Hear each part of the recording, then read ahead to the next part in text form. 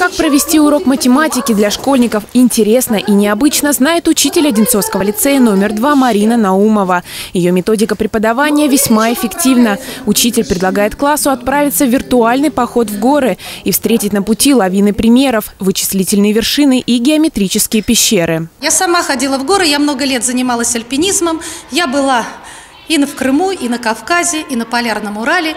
И также я водила своих детей по Жигулевским горам. Математика часто бывает, ну, вы знаете, отрабатывать действия бывает скучновато, и хочется как-то вот это разнообразить. Такие увлекательные занятия педагог проводит раз в месяц для учеников шестых и седьмых классов. Ребята ждут их с нетерпением. Мне такие уроки очень нравятся, потому что на них э, намного интереснее познавать и запоминать. Потому что обычно ребенок э, запоминает все играя. Так что даже в нашем возрасте это очень интересно. Ну, было что-то как-то душевно, приятно очень. Э, особенно вот музыка создавалось впечатление уюта.